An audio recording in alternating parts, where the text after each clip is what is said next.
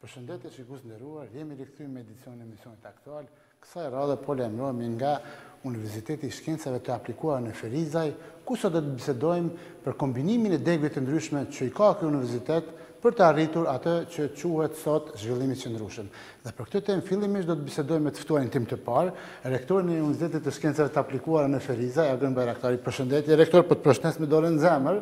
Për shkak pandemisë nuk po ta jap dorën, po gjithsesi të falenderoj për mikpritjen që na ke bo. Përshëndetje dhe mirë se keni ardh në institucionin tonë. Faleminderit shumë. Faleminderit për mikpritjen.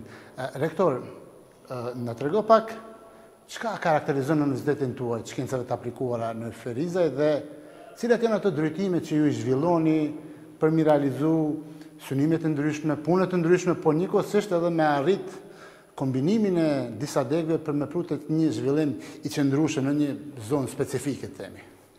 Atëherë tashmë janë mbi katëdhjetë e pesë vjet që institucioni ynë ofron arsim të lartë, arsim universitar. Dhe fillimisht u ka qenë industria e drurit dhe ka qenë përpunimi i masave plastike polimereve. Por, me zhvillimin e kohës, institucioni ynë përveç është zhvilluar Nga Shkolla e Lartë Teknike në Universitet është rritur edhe me një numër të konsiderueshëm të programeve të reja, ashtu siç e ka kërkuar tregu. Ne jemi themeluar si Universitet i Shkencave të Aplikuara, që për bazë ka bashkëpunimin e ngushtë me industrinë dhe si rezultat i këtij bashkëpunimi është edhe njohuritë të cilat sot ekzistojnë në treg, ajo çka e veçon Shkencat e Aplikuara është që njohuritë, shkenca e cila sot është në treg të ketë aplikim sa më të madh në industri, përkatësisht në zhvillimin e qëndrueshëm të vendit dhe më gjerë. Dhe si rezultat i kësaj, ne përveç në industri drurit që jemi rritë me industrinë e drurit dhe me inxhinierin, me inxhinieri përkatësisht me plastmasa, përpunimin e drurit, kemi arkitekturën e interierit, dizajnin e mobilieve, kemi menaxhimentin në hoteleri dhe turizëm, kemi menaxhimentin, menaxhimin industrial, që një nga drejtimet e para që kanë qenë në nivel të Kosovës, kemi gjithashtu dhe dizajnin grafik me multimedia, kemi konstruksionet dhe dizajnin e drurit, dhe këto janë ato bërthama e këtij, e këtij universiteti, i vetëm si i tillë, andaj dhe çka është më e rëndësishmja që ne kemi zhvilluar në institucionin tonë është bashkëpunimi me industrinë, me ndërmarrjet. Po, kjo ka bërë që të jemi në trend, në kohë me kërkesat e tregut, mhm.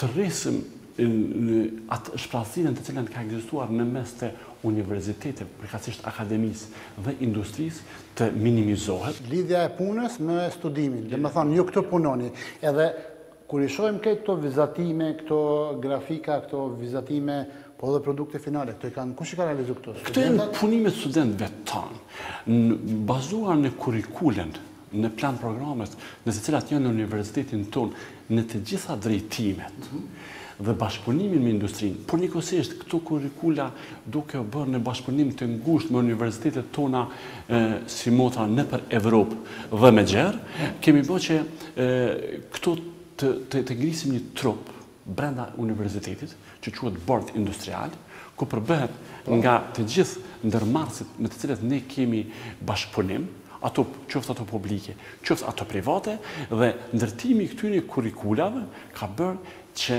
të kemi mundësi të bashkëpunojmë më shumë me industrinë dhe të shohim ato çka kërkon industria.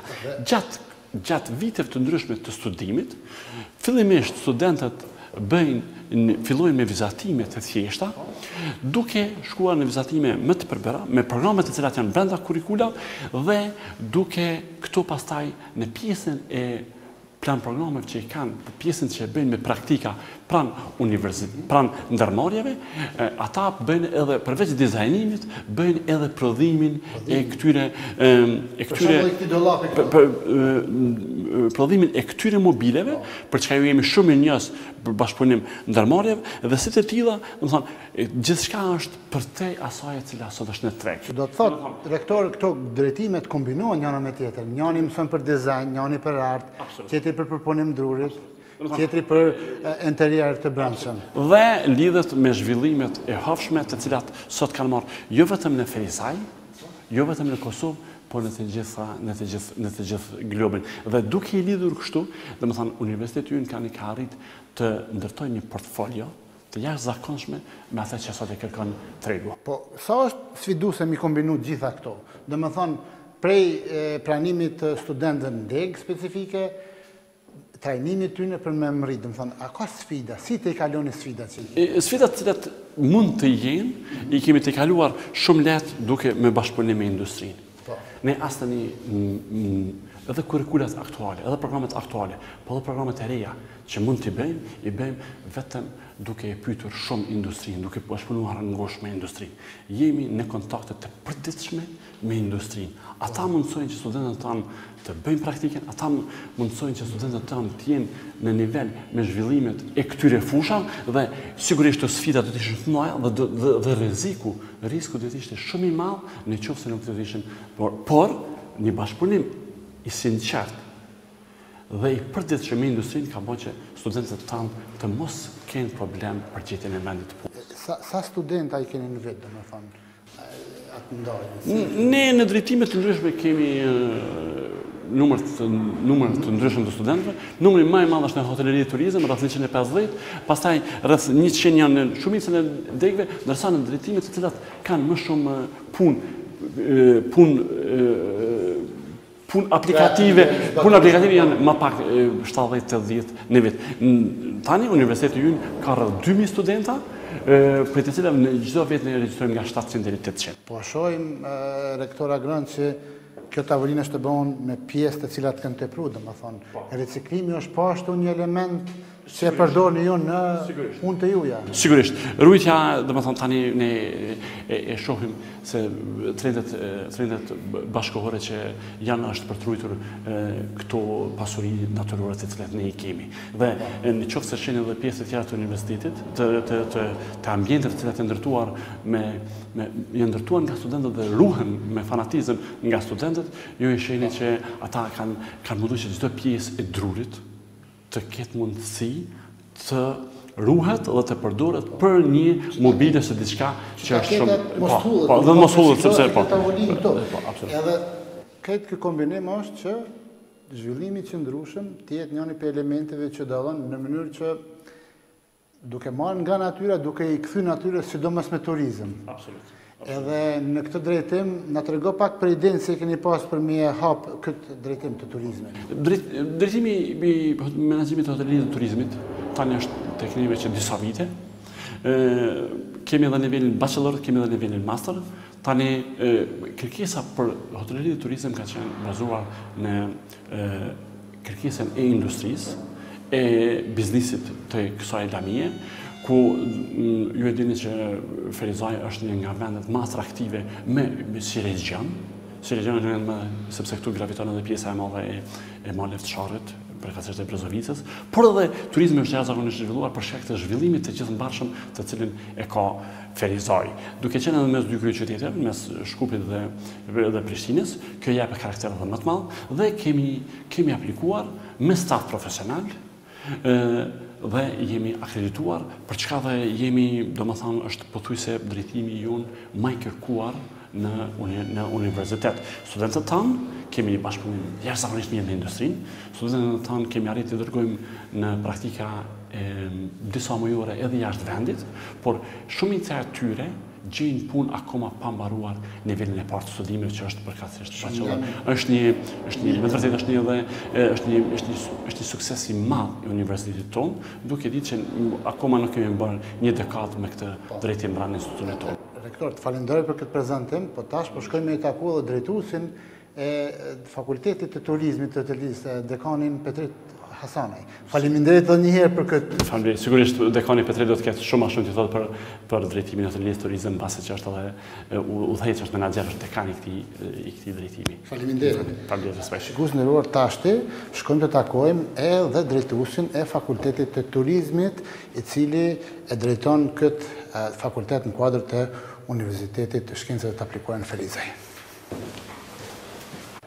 Tani po lëvizim korridoreve të Universitetit të Shkencave Aplikuara për të shku tek Fakulteti i Turizmit për të bisedu me dekanin e këtij fakulteti, i cili do të na flasë për projektin që e ka me zhvillimin e turizmit në zonën e Jezercit. Përshëndetje dekan Petrit Hasanaj, faleminderit që na ke mirëprit. Këtu në fakultetin e juaj, që është një degë mjaft interesante sa i përket departamenteve tjera, degëve tjera që i ka Universiteti i Shkencave të Aplikume. Na trego pak për degën e fakultetin e turizmit dhe ambientit dhe si është themelu, cili ka qenë qëllimi dhe ku synoni të shkoni me zhvillimin e këtij fakulteti? Mirë se ke ardhë, fillimisht më lejo t'ju uroj mirëseardhje e faleminderit që keni ardhë në Fakultetin e Turizmit dhe Ambientit. Natyrisht, Fakulteti i Turizmit dhe Ambientit daton që në vitin 2016, do thotë me gjeneratën e, gjeneratën e parë, do thotë të, të studimeve, Normalisht në atë kohë, do thotë pas disa studimeve të cilat u ban, do thotë lindin nevoja, lindi nevoja, do thotë që në Universitetin e Shkencave të Aplikune në Ferizaj të kemi edhe drejtimin e e Fakultetit të Turizmit, ku në kuadër të vetin do thotë ka Fakultetin e menaxhmentit do thotë në hoteleri dhe në turizëm. Është një degë interesante për një bazë zhvillimi të qëndrueshëm që e kemi. Sigurisht që po, do thotë programi bachelor, ndërsa programi master, menaxhimi, inovacioni dhe turizmi, do thotë të dyjat do thotë ka ardhë Ideja ishte që natyrisht Universiteti i Shkencave të Aplikune në Ferizaj punon fuqishëm me me bizneset dhe dhe si pasojë e kërkesës tyne do thotë është pa nevoja që që të kemi këtë drejtim në mënyrë që ne të ofrojmë kuadro të reja të përgatituna për për hoteleri dhe për turizëm. Nëse s'gaboj, fakulteti juaj ka numrin ma të madh studentëve, Për sa student bëhet fjalë dhe sa ka interesim për të qenë pjesë e këtij fakulteti këtu në Ferizaj? Thanë drejtën Fakulteti i Turizmit në vete ka rreth mbi 450 student, ku në programin bachelor numëron rreth 350 dhe në programin master rreth rreth 100. Interesimi është jashtëzakonshëm, meqë në rajonin e ta quajmë ashtu në rajonin e bjeshkëve të Sharrit, do thot në këtë pjesën e Ferizajt do thot dhe ma gjan do thot nuk kemi pas për shembull kemi një Jezercin bukuri e jashtëzakonshme do thot ku është pa që ne të bajmë të nxjerrim kuadro jo vetëm për rajonin e Ferizajt po të ikim edhe ma ma ma larg me që me që nuk nuk ka pas një deg nuk ka pas një drejtim të tillë dhe nevoja për këtë ka qenë e jashtëzakonshme. Kjo ka ardh për për pasojë, do thotë, edhe të bisedimit që kemi pas me me bizneset hoteliere, të cilat shpesh herë janë anku që nuk po kanë nuk po kanë njerëz adekuat ose punonjësit në ato biznese hoteliere shpesh herë, mos me thanë, në shumicën e rasteve kanë qenë do thotë të, të, të cilat kanë ardh prej drejtimeve të të tjera, do thotë jo. Edhe natyra është e bukur, domethënë, është një dhuratë nga nga natyra, nga Perëndia, domethënë është një pamje Mjaft mbresëlënëse malet e Sharrit, stanet, Luboteni, Kaçaniku, Jezerci, Gushbaba, domethënë këto janë këto pamje mbresëlënëse, të cilat janë mëkat të mos jenë në funksion të njeriut gjithnjë duke respektu atë që quhet Zhvillim i qëndrueshëm, domethënë kombinimi i disa degëve që i keni në universitet për ta arrit tek tek një branshë shumë e kërkume tek turizmi, tek trashëgimia kulturore, por turizmi rural do të thotë. Edhe e kalumja jonë shqiptare në në Kosovë. Natyrisht edhe tashmë në Kosovë. Absolutisht. Natyrisht që kjo edhe ka qenë një ajo pika kryesore, do të thotë që është që ka shty që me me e themelu një drejtim të tillë, do thotë që me ba një gërshetim mes dhe drejtimeve të cilat i kemi ne këtu në në universitet, por mbi të gjitha do thotë rajoni i cili vërtet është një rajon i jashtëzakonshëm dhe është mëkat që mos të zhvillohet, kur flasim për Jezercin ku do thotë ku ka ku ka potenciale të jashtëzakonshme për zhvillimin e, e turizmit, kur e dimë që turizmi ngërthen në veti dhe mas lehti që për me hap vende të reja të punës, ku e dimë që turizmi len njerëzit i lënë njerëzit në vendbanime të caktune, prandaj edhe ideja është që ne edhe të të zhvillojmë, zhvillojmë tutje, do thot gjana për të cilat do thot turizmi të zhvillohet në në këtë rajon. Kurse kjo pjesa tjetër këtu, çka është kjo? Domethonë po shihen disa ta quaj ashtu artefakte të vjetra, mjete pune. Natyrisht që kur jemi. Të rajonit aktual këtu, Gjana të cilat i kanë sjellë studentët, do të thotë që i kena përdor neve nëpër familjet tona. Kjo është turizmi, turizmi, nëse nëse kemi një turizëm të zhvillum, nëse kemi një turizëm të qëndrueshëm, domethanë që edhe kemi një trashëgimi të rujtun kulturore. Prandaj i, i shkon në funksion të të të, të rujtjes së trashëgimisë tonë kulturore, e cila normalisht është mjaft e bujshme dhe mjaft. Shumë, nëse dikush Një i huj shkon në këtë zonë për ta kalu një natë në një kontekst të turizmit rural, mund pi kafe dhe nga një Absolut, nga një mulli i kafes. I tillë. Shumë i vërtetë. Lisi futën midis, i kemi thanë nëpër fjalë të urta. Domethonë këto i keni mbledh në në këtë rajon po sa është me rëndësi kultivimi i këtyre mjeteve të punës të jetës së përditshme domethënë gjithni profesor Petrit në kontekstin e turizmit rural por edhe zhvillimi i turizmit si koncept si shërbim si kur flasim për turizmin normalisht se turizmi ngërthen i i, i vun në funksion shumë ë shumë degë brenda vetit Do thotë, e qet në funksion, do thotë një farë zinxhiri që e zhvillon trashëgiminë kulturore, do thotë i vunë në funksion. Së fundmi, shumë ne prej nesh mendojnë që turizmi ndërkombëtar është ai që e zhvillon ma së shumti. Po harrojmë se turizmi turizmi i, i vendor, do thotë turizmi rural, po e ban të veten do thotë dhe mbi 80% e zhvillimit të turizmit bëhet prej turizmit rural ose turizmit të brendshëm ashtu. Prandaj edhe këto nëse një turizëm i, i veshjet popullore, zhvillon, mjetet e ndryshme si kjo. Po, turizmi ndikon në rujtjen e këtyre. Nëse nëse ne ja dalim që të të zhvillojmë degën e turizmit, do thotë që ne kena me rujt edhe trashëgiminë kulturore. Do të përkujdeset dikush për trashëgiminë ë kulturore. Prandaj do thotë turizmi e thash veshje, do thotë këto karakteristikat e kësaj zone. Absolutisht që po, absolutisht të gjitha ndikojnë. Kjo është nesër, tash, do thotë nëse turizmi do të do të rritej ashtu sikur edhe neve parashojmë edhe edhe trendet janë që me shku në në zhvillim të saj, do thotë turizmi do të vënte në funksion artizanate të ndryshme, do thotë njerëzit do të do të prodhonin, do të banin, do thotë këto në të kaluarën ka i ne këto i kena përdor të kaluarën, por që tashmë po, nuk besoj, po atë lloj përdorim, ë? Por që nëse nëse do të do të lindte nevoja për mi pa, do thot pe turistëve, normalisht se zejtarët do të vuheshin funksion, do thotë në këtë formë do të ndikonim edhe në në hapjen e vendeve të reja të punës, ë? Njëkohësisht e kemi ndihmë duke kaluar në një situatë vështirë. Jena duke folë për pandeminë. Pandemia përhapjes së virusit COVID-19, e cila e ka godit turizmin më së shumti. Sa është e vështirë simas teje m'u rimëkëmb mas kësaj situate. Se duhet me pas parasysh, duhet gjithë vaksinohen, bëjnë teste dhe të bëjnë turizëm vendor në mënyrë që ato para që i shpenzojnë t'i lënë pikërisht tek këta që thoni ju. Si si si qëndron puna në këtë?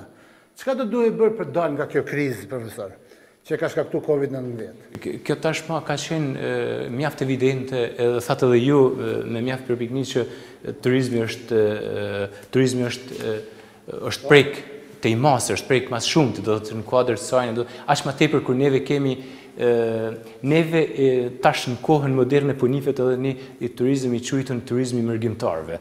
Do thotë, i diasporës i mërgatës tonë, të cilën e kemi mjaft të pasun, Dhe që së fundmi do thotë shkaku i pandemisë do thotë numri i tyne ka qenë mjaft i mjaft i vogël. Ani pse dhana statistikore flasin që remitencat nuk kanë pësu nuk kanë pësu shumë ramje, por që ardhja e tyne ka ndiku do thotë që të mos sjellin para edhe jashtë jashtë hyrave vijeve vijeve ligjore t'i quj ashtu, por që normalisht se kur turisti vjen këtu, mërgimtari vjen këtu do thotë ai do të harxhon edhe ma Ma ti, prandaj turizmi e ka pësu tejmase, se si mund të dalim natyrisht që ndërshëta do të duhej me ba një politikë pak të shpejtume për vaksinimin e popullatës, këtu, po mbi të gjitha do të duhej një lloj plani Marshall ta quj ashtu, i cili do të ndihmonte bizneset të cilat do thot vërtet kanë qenë, kanë pas vështirësi me i mbajt, kanë majtë punëtorët, ndoshta biznese hoteliere, ndoshta agjencionet turistike të cilat nuk kanë mujtë me, me, me, me pas vajtje ardhje, do thot kanë pas probleme të ndryshme. Prandaj një, një plan i ashtuqujtun Marshall do të mund të, të ishte ndihmesë për këto biznese, mënyrë që të, të jep një, një, edhe njëherë një start-up të ri këtyre biznese. për shkak se vërtet këto kanë pas. Nëse flasim me dhana statistikore, do thot flitet për për shumë më rëndë se për humbjet të cilat i kanë i kanë pas. Do thot Unioni i Turizmit disa herë ka dalë me me shifra të mëdhaja milionëshe. Janë më tepër se milionëshe, do thot humbjet të cilat i kanë pas. Prandaj normalisht kjo do të dali, po ndoshta do të jemi edhe pak inovator se si në çka do të mundem edhe bizneset, të ftoj edhe bizneset që të mendojnë do thot që të Të shohin pakëz forma se si se si me me me i lidh gjanat. Për shembull, unë shpesh herë mund të them që unë prap ndërlidhem me bashkëatdhetarët për shkak se ata i kemi turistat, nëse mund të quaj, nëse guxoj të quaj, turista vendor. Turista vendor i quaj. Nëse mund të quaj. Po atyre të të gjejmë forma se si ndoshta të jemi më të kujdesshëm ndaj tyre, ndoshta t'i ofrojmë produkte më më cilësore, ndoshta ata kanë marrë gjithsesi. Ky, ky rajon, domethënë, rajoni që përfshin Ferizajn, Kaçanikun, Lubotenin, Jezercin, Strazhën, bifurkacionin, Gushbabën, domethënë, sa është atraktiv për këte? Për zhvillimin e turizmit, se e shojmë që ka pak turizm zhvillum aty, po jo shumë sa do të duhej. Meqë, meqë universiteti jonë në kuadër të, në kuadër të misionit vet përmban tre shtylla kryesore, do të thotë ka mësimdhënien, shkencën dhe dhe dhe kontributin në komunitet. Ne veç jena ka mundojmë me studentat tanë, po përpiqemi që ne vërtet me me mujt me i lidh tanima studentin, rajonin, komunën. Çka nënkupton me këta? Do thot studentat tanë janë ka punojnë në atë drejtim që me ba hulumtime, me pa se në çfarë forme do të mund të zhvillonim dhe në çfarë forme do të mund fillimisht t'i ndalim banorët në ato zona dhe tutje t'i rikthejmë edhe banorët tjerë që të kthehen ani pse ndoshta ata kanë një punë primare në qytet ose në në zonat urbane, por që ata atë anën e pas punës do thotë që ta shfrytëzojnë në këto në këtë rajon që natyrisht që është S'ka koment që është rajon ma të bukur, s'mund me gjetë dikun tjetër. Po, ju më folet edhe për disa plane, projekte, që po ideoni me studentët në kuadër të punimeve tyne të magjistraturës që kanë bënë me Jezercin. Po, për Jezercin, ma së miri kishte me qenë me folë te vendi, apo jo. A shkojmë? Të lutem mas teje, pra. Dhe tani vazhdojmë për tek Jezerci, ku edhe do të bisedojmë me profesorin dhe një studente e cila ka ban një punim që ka të bëjë me zhvillimin e turizmit në këtë zonë. Nga mjediset e Fakultetit të Turizmit në Universitetin e Shkencave të Aplikuara në Ferizaj, erdhëm këtu së bashku me dekanin Petrit Hasanaj tek Jezerci, tek pika turistike ku ka mjaft turizim rural, por ne do ta vazhdojmë bisedën tonë me studenten Manjola Saliu, e cila është duke përgatitur edhe temën e masterit sa i përket zhvillimit të turizmit në këtë zonë. Përshëndetje. Përshëndetje. Manjol, përshëndes kështu me dorë në zemër. S'po ta jap dorën, po marrim distancën për shkak pandemisë. Manjol, na trego ti je studente në po. Universitetin e Shkencave të Aplikuara në Ferizaj. Edhe ke vendos që temën e punimit tand me e ba për zhvillimin e turizmit në Jezerc. Po. Pse ke vendos për këtë temë? Atëherë Kosova është një vend me një hapësirë të vogël gjeografike, por me një potencial të madh për zhvillimin e turizmit. Ferizaj me pasuritë e tij natyrore është vend njëri nga resurset bazë për zhvillimin e turizmit, e këtë fat e ka fshati Jezerc, i cili ndodhet po në këtë komunë, Atëherë sa i përket temës së masterit, unë e kam zhvillimin e turizmit rural dhe perspektiva e tij për të ardhmen në fshatin Jezerc. Fshati Jezerc është një fshat i vogël, i banuar me rreth 84 shtëpi banimi, të cilat me bjeshkët e tij atraktive, stanet, hapësirat agrare dhe shpellat e paeksploruara, është një ndër vendet me resurse të mjaftueshme për zhvillimin e turizmit rural. Atëherë turizmi rural ka të bëjë me zhvillimin e hapësirave agrare, të cilat këto hapësira mujnë me ndihmu në rritjen e të ardhurave lokale dhe përmirësimin e jetës së banorëve të kësaj zone. Këtu jemi tek pika ma e naltë më duket e fshatit. E fshatit. Këtu mrapa i kena kodrat, i kena gjithë këtë bukuri natyrore. Si e ke mendu këtë kombinim, domethanë, natyrë, turizëm, turizëm rural? Po. Këtu jemi duke pa ka edhe shtëpia që i përmende ti, të cilët prodhojnë produkte të ndryshme. Si do duhej mu organizu kjo sipas mendimit që e ke ti në punimin tënd? Atëherë ideja e punimit është me kriju një zinxhir të furnizimit përmes bizneseve hoteliere dhe banorëve të fshatit. Ashtu po mendoj me bisedu me ndërmarrjet hoteliere dhe banorët që produktet e tyre me ia ofru bizneseve, në mënyrë që me përmirësu jetën e banorëve dhe me zhvillu ekonominë lokale. Një lloj agroturizmi po flet. Ashtu diçka, po. Edhe për shembull, a ke a çfarë potenciali ka, domethënë, a ka ma shumë me zhvillu potencial të turizmit ditor kur vijnë Kalimi si turistat e ha një drekë, apo dhe ma shumë domethënë... Ashtu po mendoj edhe ma gjatë, po. Po mendoj me bisedu me banorë, njëkohësisht me bisedu edhe me komunën, në rast se nuk i kanë kushtet për me ofru akomodim për turistat, po. atëherë komuna me ju ndimu, me participu, ashtu me thënë, për me ja ofru, kusht, me përmirësu kushtet ekonomike, në mënyrë që banorët me përfitu. Në moment që turistat vijnë në fshat, me u akomodu jo në hotel, po në shpijat e banorëve, me ushqime, po, me ushqime tradicionale, po. Sa është kjo komplekse me realizu, domethënë edhe, si janë mundësitë për me zhvillu këtë plan në kuadrë të fakultetit? Atëherë ende nuk kam dalë me pyetësor, me intervista, po po shpresoj që ka me pas mirëkuptimin e banorëve për arsye se ne si popull shquhemi si mikpritësa dhe besoj që kena me realizu ni projekt të mirë që ka me kanë në të mirë të fakultetit, të mirë të komunës dhe në të mirë të banorëve të fshatit. Pse e ke zgjedhë bash turizmin? Pse s'e ke mendu një gjë tjetër edhe pse kjo pikë? Kena mujtë me shku në bifurkacion, kena mujtë me shku te stanet e Lubotenit, kena mujtë me shku te Gushbaba, pse pikërisht kjo pra? Turizmi është një sektor që dita ditës po rritet mjaftueshëm, mhm. po merr një hov të madh. Arsyeja pse e kom zgjedhë Jezercin apo turizmin rural është që puna e lodhshme jeta dinamike, po, po është e nevojshme arratisja nga zonat urbane dhe kalimi në zonat rurale për shkaqe psikike, ashtu për me u ni, po, për me u ni ma mirë. Po edhe, a je duke e bo vetë, a jeni grup i studentëve? Temën e kom vetë, personalisht jom tu e bo, me ndihmën e mentorit, dhe po shpresojna që kena me nxjerr diçka të mirë, diçka që s'është bo ma heret. Si e sheh këtë nga perspektiva jote si një person i ri që sheh përvoja nga mbarë bota, si e sheh këtë këtë perspektivë zhvillimi i këtij vendi? Është vetëm te turizmi, apo i ke shikuar këto elemente të tjera rrethanore që kanë të bëjnë gjithmonë me zhvillimin e qëndrueshëm, domethënë po.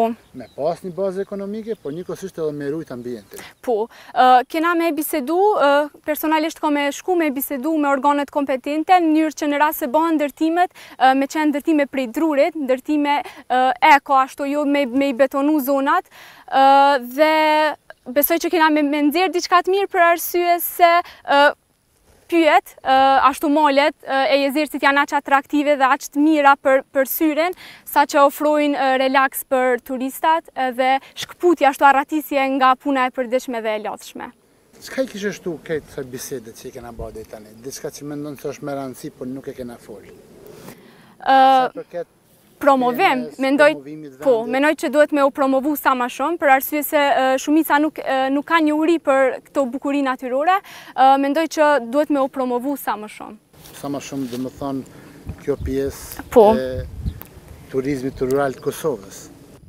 Zotni Hasanaj, na trego pse pikërisht e keni zgjedhur Jezercin nga këto bukuri natyrore të zonës turistike të Sharrit për ta Ba studimin, por edhe të orientoheni që të zhvillohet turizmi rural apo agroturizmi këtu. I nderuar Gjergj, do thotë ideja, ideja ishte duke pa zhvillimin së fundmi të të këtij rajoni, me që ishte edhe i pa i pa akoma ta quaj i i pandërtum, do thotë i paprekun, edhe duke pa potencialin e madh që kishte për të zhvillu turizmin rural në këtë zonë, andaj dhe duke i pa disa për shembull biznese hoteliere të cilat vetëm po zhvillohen, po ndërtohen, do thotë dhe duke e pa dhe shqetsimin e komunës, shqetsimin e komunitetit, do thotë që po boshatiset kjo anë, frika e një boshatisje të këtij rajoni andaj mendum që të vim ta bëjmë një hulumtim dhe të shofim e të gjajmë mundësinë se si këta banorë t'i ndalim këtu, po njëkohësisht edhe t'i kthejmë ata të cilët nuk janë këtu. Do thotë këta banorë, këtyne banorëve t'ju hapim vende të reja të punës, po në anën tjetër edhe për të tjerët ta hapim si rekreacion për për ta. Do thot pasi të ketë përfundu orarin e punës të bezdisshëm apo jetës monotone të cilën e ka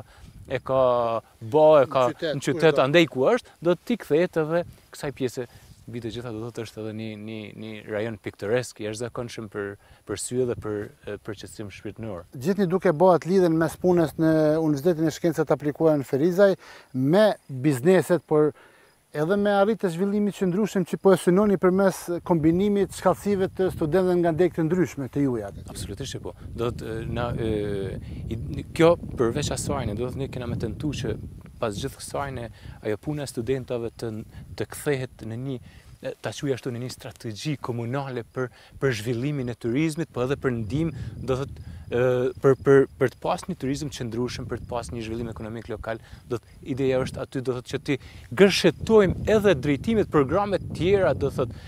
Po ë krejt krejt në fund, nëse më lejon që Zoti Gjergj, do thot fillimisht ju falenderoj juve, do thotë që keni gjetë kohë, do thot për për këto tema që janë të jashtëzakonshme, do thotë që ë është tema kryesore së fundmi, do thot jo vetëm në Kosovë, por gjithë gjithandej botës të zhvillimi i turizmit dhe mundësia që ka për të për t'i dhënë vende të reja të punës, por në anën tjetër lus ftoj të gjithë të interesuar që të vijnë ta vizitojnë Universitetin e Shkencave të Aplikuara në Ferizaj, në veçanti Fakultetin e Turizmit dhe Ambientit, do të shohin mundësitë të cilat janë aty, po edhe nga afër të shohin mundësitë që jep universiteti jonë. Po. Petrit, faleminderit për pjesëmarrjen në emision, faleminderit të ty Manjol për pjesëmarrjen në emisionin aktual. Ka qenë një bisedë interesante e vyeshme, por edhe me tregu për bukuritë natyrore të Kosovës, kësaj zone të Republikës së dashur. Faleminderit edhe një herë. Faleminderit juve. Merci. Shikues të nderuar, kaq për edicionin e sotëm të emisionit aktual. Folëm për zhvillimin e turizmit, turizmit rural, agroturizmit, që nga dega e turizmit dhe mjedisit në Universitetin e Shkencave të Aplikuara në Ferizaj dhe deri këtu tek vendngjarja tek fshati Jezerc, i cili shquhet për bukuri të rralla natyrore dhe për mundësi të mira të turizmit rural dhe me këto pamje mrapa ju falenderoj që na keni ndjek, qëndroni me kanalin e parë dhe tre të televizionit publik të Kosovës dhe mirëmbetshi nga unë Gjergji.